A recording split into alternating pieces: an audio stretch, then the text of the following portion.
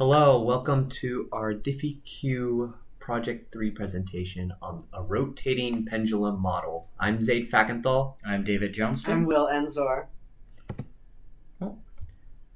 Uh, to give a brief overview of what this presentation is going to be about, uh, we were tasked to design and analyze a model system that uh, uh realistically models the dynamics of a think of a wrecking ball on a crane where you have a pendulum mass swinging outward. And if we press this video, you can see briefly what we are looking at.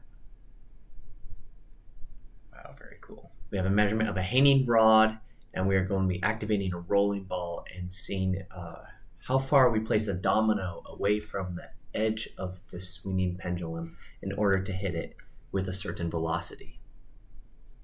Yeah. All right, so here are here here are our key assumptions. Uh, first off, we're assuming friction and drag are negligible. This is simply because we do not want to deal deal with air resistance uh, or the internal friction of a bearing or something like that. That's just not going to bother modeling that right now. Uh, we're also assuming that the pendulum is a rigid body. Uh, by that we mean we're assuming that it is not a cable attaching attached to the ball, but instead a rigid beam. Uh, this will mean that uh, this will mean that as it swings around, the ball should stay perfectly in line with the uh, end of the horizontal beam. Uh, we're also assuming that the horizontal crane arm remains horizontal, so it's not lifting and changing its angle. Um, we'll, uh, we're also assuming that angular acceleration remains constant throughout movement. Um, so once it starts moving, it kind of just either keeps accelerating or it keeps moving. It's not going to really change that much. Uh, we're also assuming a small angle approximation, which we'll explain later. Yeah. So we started by creating the top view and side view diagrams for our three-dimensional model to begin our analysis of the problem. The distance of the ball from the pole is r. The length of the arm is c because it is constant. The length of the pendulum is l. Theta is the angle of the central arm as it swings, and phi is the angle that the pendulum swings outward. The radius, therefore, is equal to c plus the top component of L, or L sine of phi. All right, now when we look at the forces just in the side view, uh, when we were analyzing the pendulum's motion, uh, we drew free body diagrams and the sum of forces in the side view, as you do in any normal physics problem. Uh, the normal direction is equal to the tension in the string, or the normal, the components in the normal direction of our gravity and our force inertia. So we did actually not need to incorporate those into our model. However, the tangential direction is what is important to us. Uh, we were able to find the components of the weight, mass times gravity, and the force of inertia, mass times the centripetal acceleration, or as we found, radius times the angular velocity squared. The sum of the tangential forces uh, we'll now dive into deeper in a couple slides.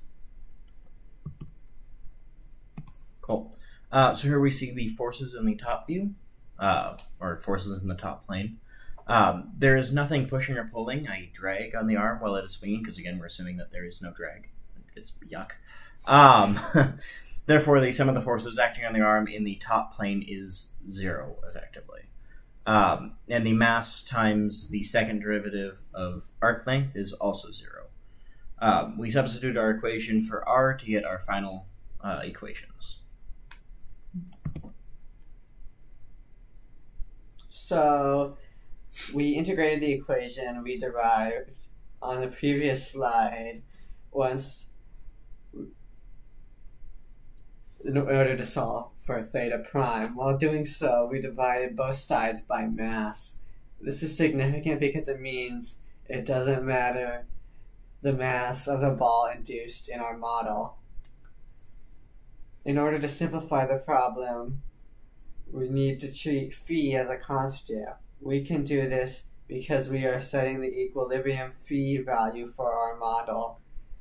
Also, we approximated sine phi as phi as shown in the lower left corner. We drew a graph to show visually why our approximation is valid. Mhm.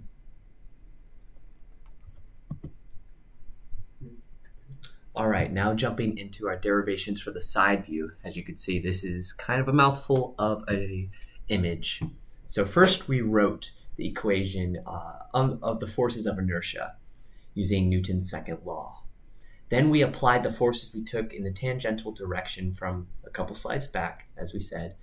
Uh, and then we have the mass times the arc length for phi squared on acceleration on the left. Uh, since, again, uh, mass is across all sides, we're also able to, to cancel that out, and we divided by L, which we're able to take out from the left side and divide it across so that we can isolate phi double prime. Uh, throughout this process, we also made a another small angle assumption for the sine of angle and also of the cosine of phi, which we also uh, show in the top right corner. Um, uh, now that we have an isolated phi double prime, or as we changed it to beta prime, which beta is the derivative of phi, uh, this allowed us to ob- obtain a linear system that we could plug into p-plane and is shown in the center of this image and also in the next slide. Uh, in order to get our numerical values, uh, as we said before, we are treating the angle and the equilibrium point as a constant. And we get to choose uh, in relationship between the angle and the velocity which one we want to set and find. So we uh, set an angle of 15 degrees and solved for velocity, uh, initializing the equation as equal to zero uh, because there is uh, no outward acceleration because there's no no drag. No, as we said before, there's the net forces, so this is equal to zero. And solving for velocity, uh, with inputting pi over 12 or 15 degrees, we are able to get 1.35 meters per second. Cool. Uh, so now looking at our first order system, uh, you'll see that uh, it is a nonlinear system because it consists of a term that is not a constant multiple of uh, phi. Uh, this is a term with phi in the de- uh, yeah this is a term with phi in the denominator. In order for it to be a linear system, all terms would have to be constant multiples of phi and beta. Or some function of that form. Yeah. So, in this set of equations which we put into p-plane, we used x to represent phi and y to represent beta. The other constants are represented by the same letters we used in the equations shown on the previous slide. Notice how we have an equilibrium point in the middle and a sample solution curve circling it in the clockwise direction. This is an orbit, right? Yes. All right, so now that we are jumping into the equilibrium point, it's not surprising that it is at a phi value of 15 degrees and a beta value of zero, which makes sense in terms of our problem. Uh, P-Plane actually pointed this out as a spiral, but when we look at the Jacobian and calculate the trace and uh, we can therefore see it's actually a center, which makes more sense, or an orbit, which makes sense uh, with what a graph we are getting from this value. Uh, we could have also looked at the eigenvalues and seen how they are imaginary. No, it's either a center, a spiral sink, or a spiral source. Cool. Uh, so now for our comparative analysis. Uh, when not at equilibrium, uh, phi prime is increasing and decreasing between two values, uh, specifically by initially uh, uh, specific, specified by initial conditions when you click somewhere on p-plane. Uh, as phi prime increases, phi prime proportionally increases and decreases, and likewise for phi prime, phi prime decreasing. Uh, the tangent vector at this point give, uh, points given are when either phi prime or uh, beta prime switch from increasing to uh, decreasing or vice versa. Whew. uh, and shows what vector in relationship between angular velocity and angular acceleration would be in terms of phi at a given point in time. So, in our final state, we assumed that phi approaches equilibrium point throughout the swing, which is used for estimating where to place the domino.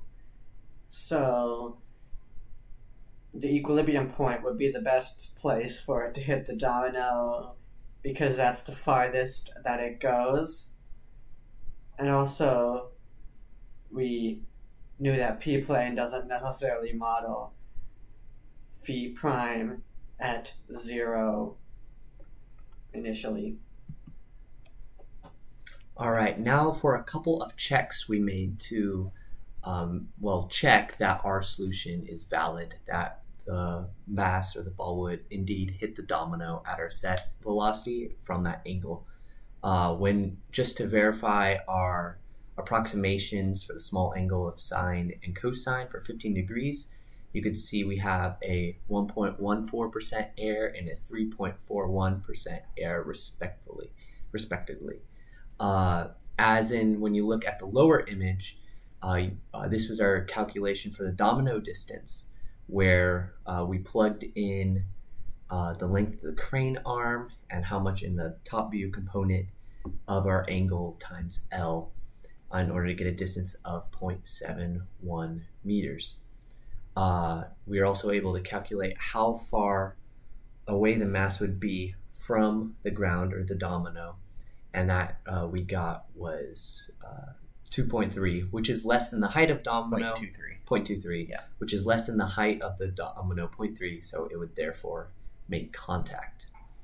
Uh, and then plugging the velocity and angle back into our linear system of equations, our results in p plane uh, meet real world circumstances. Uh, so our conclusion. Uh, we have a good start to our design for a pendulum. Uh, if this were a real project and we were to continue working on its design, we would also need to calculate the height and slope of the ramp needed for, uh, for the ball that launches the pendulum. Uh, we could easily do that using kinematics. Uh, well, it also well, it would be somewhat difficult, but relatively easy compared to the calculations we just did. Also, we need to make sure that the ball stops after hitting the pendulum, otherwise, it could roll off the surface it's on. Just little things. Um, other things for us to consider include uh, choosing a material that is strong and will not bend. Uh, we need to create stable joints that move smoothly and do not shake. Uh, and finally, we would need to consider aesthetics because I mean it's always going to look good. Of course. Um, since this pendulum is in a museum and it is meant to be shown off because style points matter. And now we have a video of a wrecking ball hitting a car. And why are you laughing? Are It's- laughing it's- at me? Or It's the- just yeah, that is exactly what we had. yep. Cool. Thanks And- for watching. I totally forgot that was there. All right. Basically, we chose that because our pendulum works like a wrecking ball. It smashes out the competition. Uh, All right, let's end this video yeah. now. Before we get more dumb